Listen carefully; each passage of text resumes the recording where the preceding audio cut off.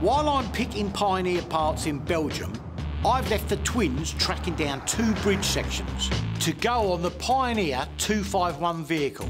We have just a week before the deal's supposed to be sealed, so they have to find them, fix them, and fit them for the Battle of the Bulge obsessed Slava. Right, let's find this bridge. It must be up here somewhere. Ages ago, Bruce bought and has since mislaid a couple of Pioneer bridge sections. They work like ramps to get tanks and trucks on and off floating pontoons and across ditches. What's this here? Is that a bridge? Oh, yeah, yeah. That's one. Is there another one there, or is it just the only one? Yeah, it's down here. Bingo! Two Pioneer bridging ramps. But that's where the good news ends. No, that one's solid as well. The moving parts have rusted solid. Let's just drop it down here for a minute. In this game, you get used to rust, so we have a few tricks up our sleeves. What we're going to do is get these nice and hot then, nice red hot. If you heat the rusty moving parts, the metal expands.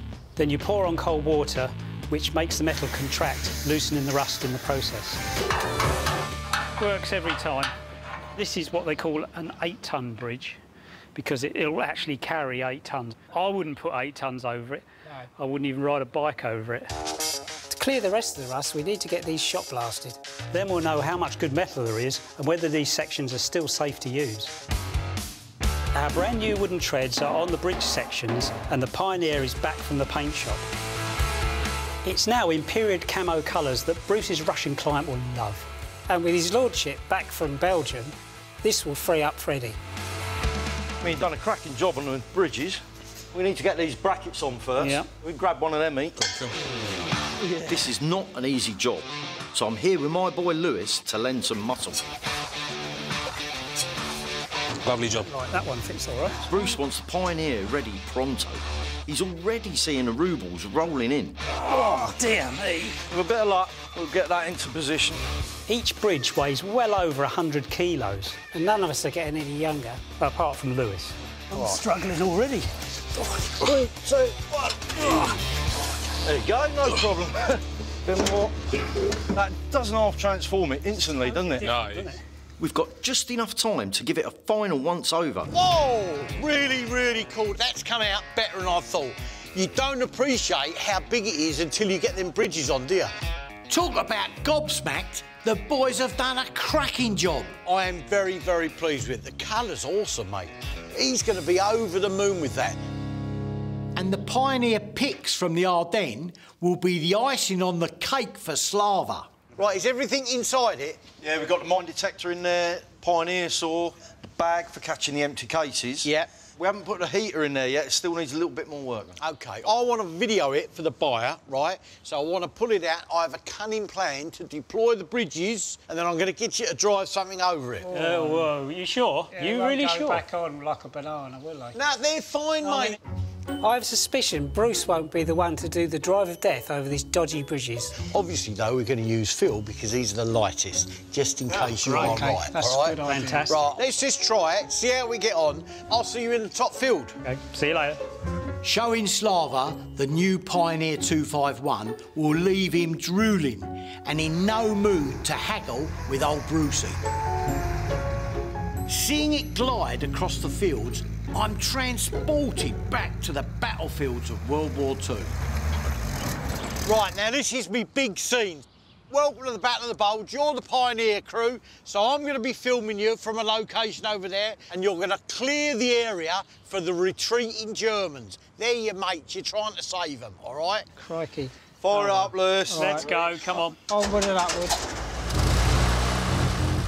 To make it authentic, I'd like the boys to show the same enthusiasm as a genuine German pioneer crew.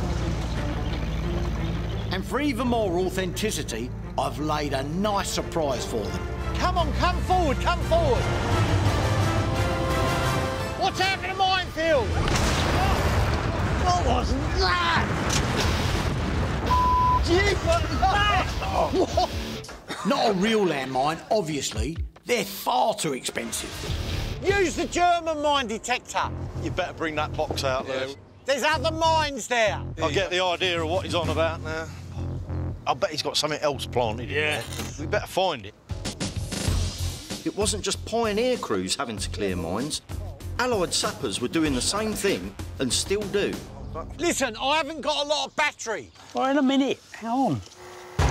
The guys following my footsteps for obvious reasons. And no, Bruce, there could be all kinds of stuff out here.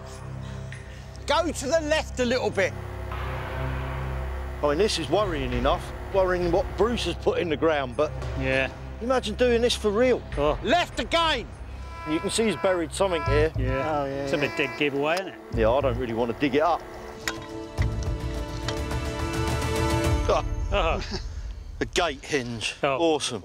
A gate hinge poses little threat to life and limb. The next challenge, however, will be more interesting. Let's, let's, hold it, hold it, hold it, I don't want to hear that. Little tiny bit. It's, it's not going to work. It, it's bending. Come on. I can hear the bridge. I can actually hear it. Ugh. Come on. Hold it out, hold it out, hold it out. Oh, keep going, keep going. We're on the bridge. Is it bowing in the middle? Yeah. You're all right. on. Yeah. You're good. Come on, come on, come on. Stay straight. Go, Go, go, go, go, go. I'd be lying if I said I wasn't a little nervous. That Kubelwagen's worth 45 grand. But the risk will pay off. Now I can show Slava his new Pioneer 251 in all its glory. And he won't argue about the new £330,000 price tag.